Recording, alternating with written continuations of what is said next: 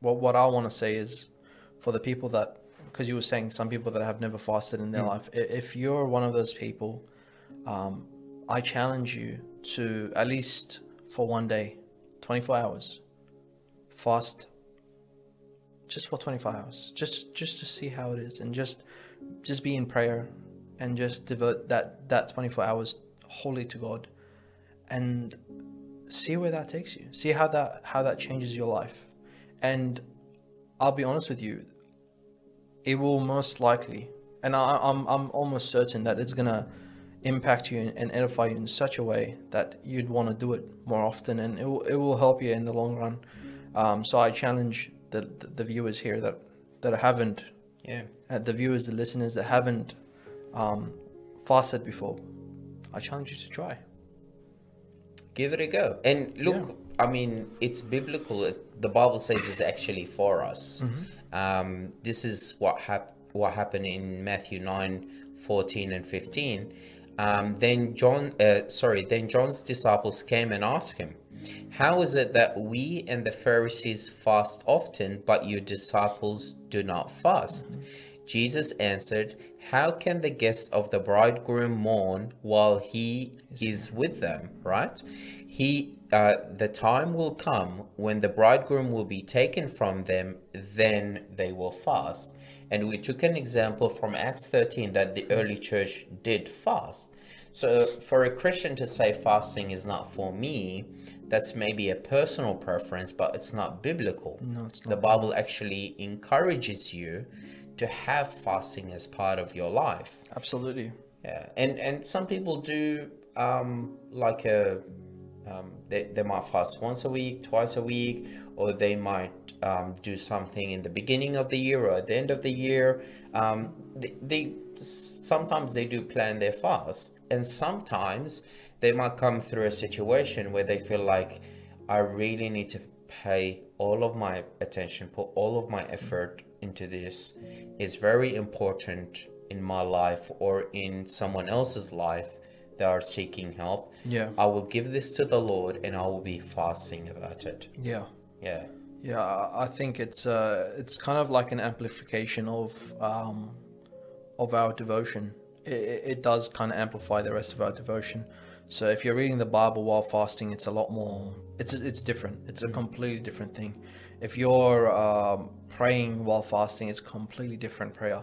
If you're worshiping, um, you know, singing songs and just raising your hands, singing hymns while you're fasting, it's completely different. Yeah. And um, and yeah, that's why I think it's uh, it should be part of our arsenal in our you know fight against. Um, Yes.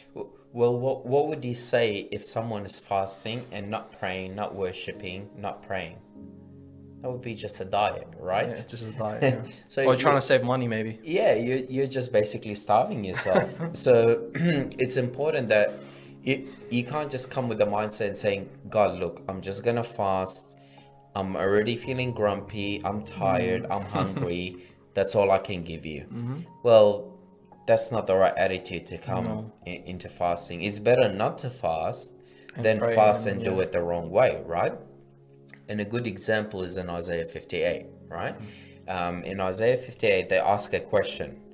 Um, I'll try and bring it up. Um, this is um, the, this is the people asking the question. Why have we fasted? They say, and you have not seen. Why have we afflicted our souls and you take no notice? So they're asking this question. They're like, we're fasting, God is not answering, we're afflicting our souls, and God is not even noticing, you know? Yeah. But then God starts to point out what they were doing while they were fasting. We can see an example in verse 4 Indeed, you fast for strife and debate, and to strike with the fists of wickedness. You will not fast as you do this day, to make your voice heard on high.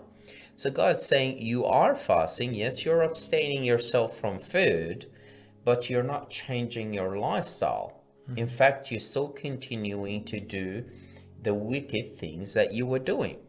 But what's God's acceptable way of fasting? And this is God down the line in, in the chapter. And he's saying in at the end of verse five, and an acceptable, uh, sorry, um, uh, verse six, he's saying, "Is this not the fast that I have chosen, to loose the bonds of the wickedness, to undo the heavy burdens, to let the oppressed go free, and to break every yoke? Is it not to share your bread with the hungry?"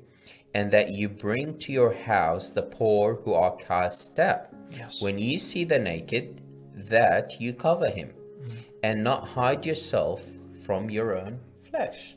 So there is a way of fasting that God desires in us.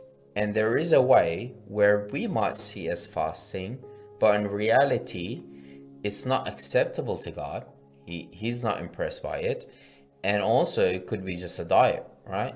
Oh, I'm, i need to fast for a week but you're doing it after christmas and you know you've gained a few kilos. Come on we know who you are.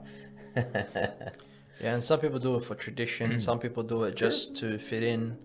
Um, and some people do it with a wholehearted belief that they are trying to appease god but their hearts are doing something else. Their hearts are somewhere else so the, their mouth claims that this is for God, but in their actions while they're fasting, nothing to do with God. So unfortunately, it was pointless.